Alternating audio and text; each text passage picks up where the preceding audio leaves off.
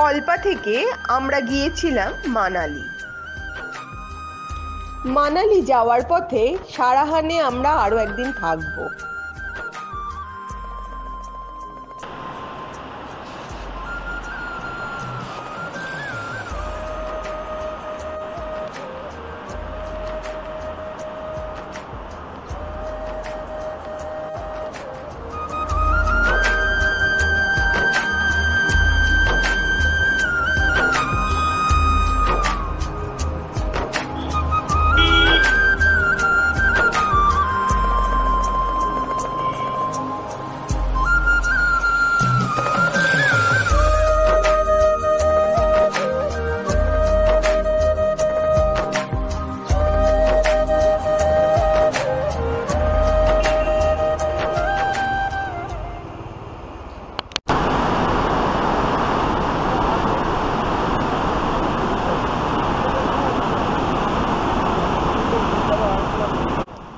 শতদ্র নদী। তার ভয়ানক রূপ দেখাতে শুরু করেছে। আমরা কিন্নর থেকে নেমে আসার পরেই খুব বৃষ্টিতে সাংলায় এক ভয়ানক ল্যান্ডস্লাইডে অনেক পর্যটক আটকে পড়ে। খবরে তা দেখেছিলাম।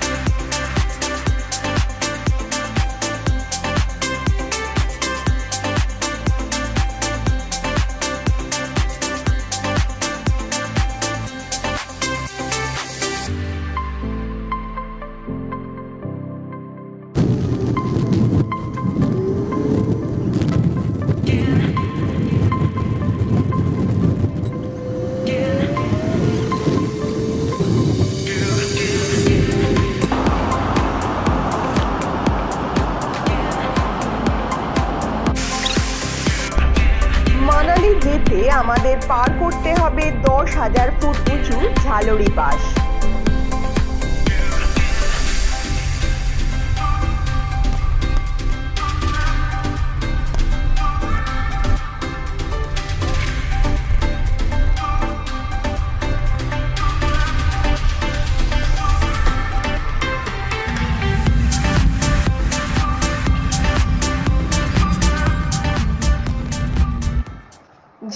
পাস ওঠার সময় দেখা গেল একটা বাড়ি।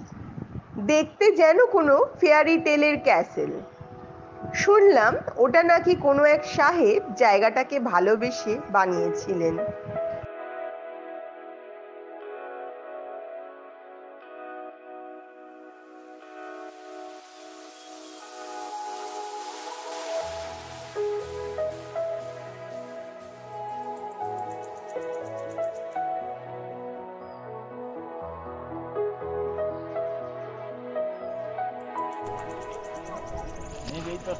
এই কেন দেখুন না। ঝালরিপা স্টপে একটা মন্দির আছে। এখানে দোকানে দেখি ভাজা হচ্ছে বাংলার বিখ্যাত কাঠি গজা। এ যেন অভাবনীয়। এ কি আর ছাড়া যায়? ব্যাস কিনে ফেললাম। গরম গরম মিষ্টি কাঠি গজা। বেশ ভালো খেতে ছিল। মে মাসে আমরা তেমন বরফ পাইনি তবে ঝালুরি পাশে রাস্তার ধারে ধারে বরফ ছিল।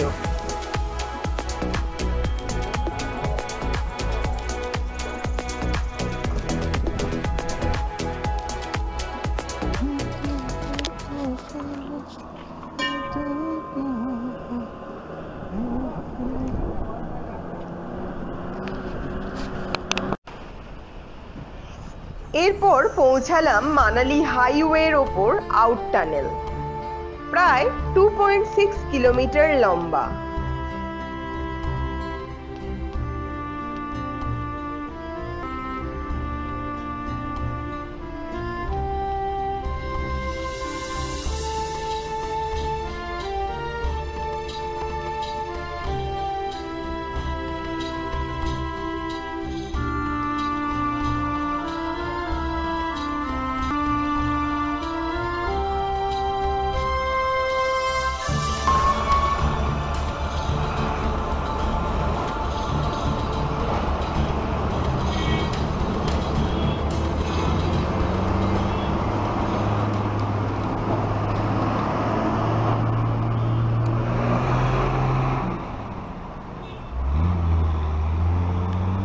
মানালি ঢোকার সময় যখন পার্বতী বিয়ার সঙ্গম পৌঁছালাম, তখন জোরে বৃষ্টি নেমে গেছে। মানালি আমাদের সেবার খুব ভালো ঘোরা হয়নি এই বৃষ্টির জন্য। তাও মোটামুটি ঘুরেছিলাম। যেদিন রোটাং পাস গিয়েছিলাম, সেদিন সকালে তো এত বৃষ্টি হচ্ছিল যে ভাবলাম আর যাওয়া হবে না।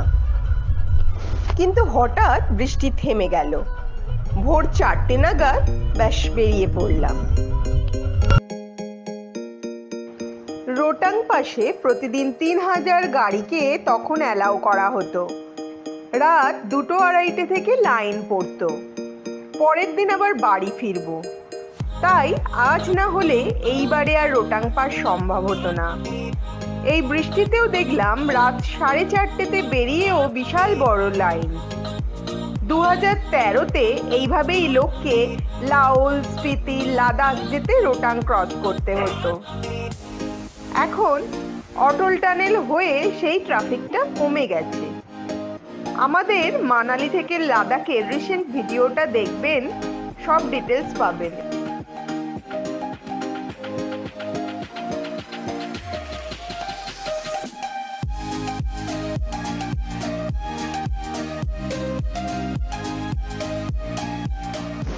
ফেরার সময় আবার প্রচণ্ড বৃষ্টি। যখন সোলাং ভ্যালি গেলাম, তখন আবার বৃষ্টি ধরে গেছে। তবে কোনো অ্যাক্টিভিটি স্পোর্টস চলছে না, শুধু রোপওয়ে ছাড়া।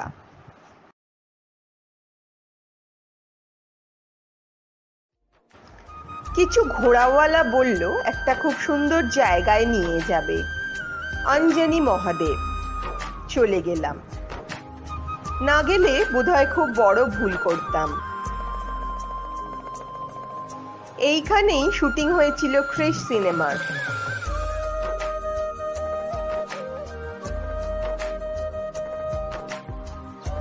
অঞ্জনী মহাদেব হলো অমরনাথ ছাড়া একমাত্র শিবলিঙ্গ, যা শীতকালে নিজে থেকেই বরফ দিয়ে তৈরি হয়।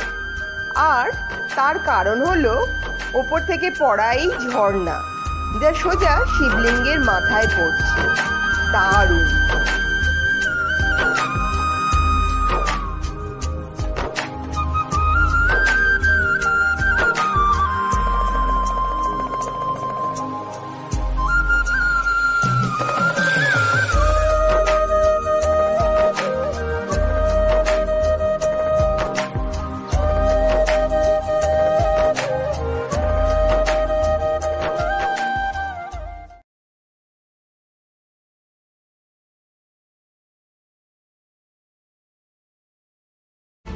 নতুন নতুন ভিডিও পেতে সাবস্ক্রাইব করো। পারলে তোমার বন্ধুদেরও শেয়ার করে রেখো।